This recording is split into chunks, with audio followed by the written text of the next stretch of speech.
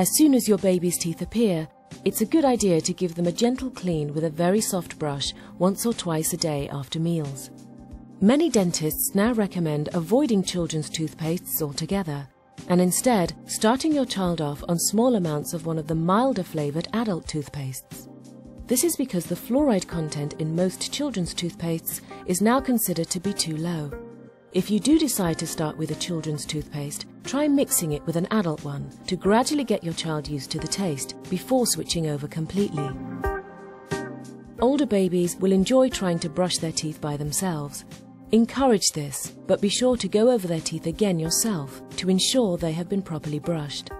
By the age of three, your child may have mastered the basics of toothbrushing themselves and be in a routine of brushing in the morning and evening.